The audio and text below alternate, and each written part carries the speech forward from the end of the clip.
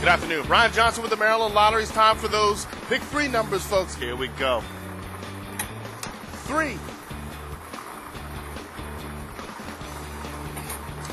Five.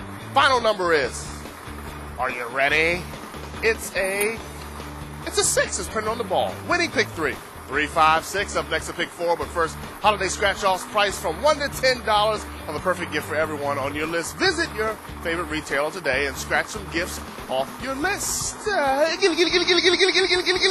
Pick four. One. Four.